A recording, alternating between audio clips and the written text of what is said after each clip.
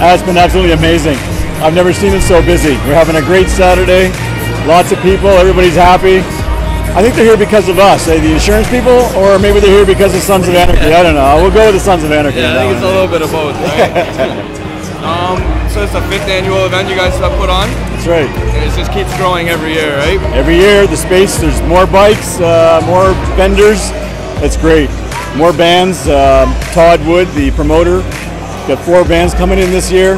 Great music, Yeah. good atmosphere.